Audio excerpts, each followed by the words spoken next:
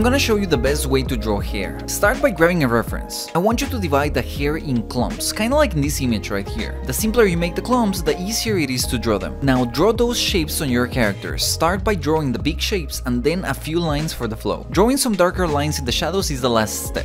I love this method because it works with any hairstyle. If you like tips like this, check out digitalpaintingmaster.com where I put everything that I know about being an artist.